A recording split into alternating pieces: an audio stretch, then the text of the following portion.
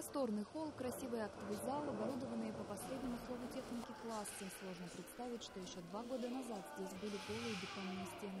Сегодня школа номер 22 на улице Микояна принимает около 700 учеников. Ее начали строить в 2011 году, однако застройщик успел возвести только стены, дальше закончились деньги. Более пяти лет здание простояло заброшенным, но нашелся инвестор.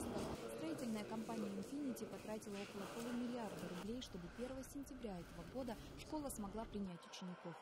Мы по просьбе администрации Химок а, помогли а, жителям а, Химок в дострою данной школы. Проект был крайне тяжелый. Здание находилось в заброшенном состоянии на протяжении нескольких лет. Нам приходилось напряженно работать в опережении всех мыслимых графиков строительства, но делали это с удовольствием, так как речь шла о детях. Оснастить школу современным оборудованием, инженерам пришлось доработать систему вентиляции и освещения. Работы велись в сжатые сроки, но к назначенному времени они были закончены.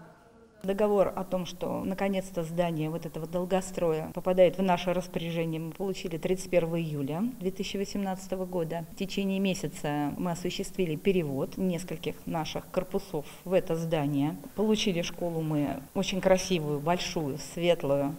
Ну, а непосредственно открытие было 1 сентября на торжественной линейке. В распоряжении учеников огромная столовая, хореографические, спортивные и актовые залы, библиотека на 300 квадратов, даже свое радио с телевидением. На входе пандусы, широкие двери, лифты, санитарные комнаты. Особая гордость – кабинеты технологии. Шикарные примерочные с зеркалами, шикарный раскро- раскроечный стол. Для девочек отведены две большие комнаты для шитья и кулинарии. Мальчики занимаются столярным и слесарным делом. Преподаватели и ученики уверены, что все условия для. Ребят, кому нравится новая школа? Елена Беляева, Ксения Брагина, Матвей Шинкаренко. Служба новостей.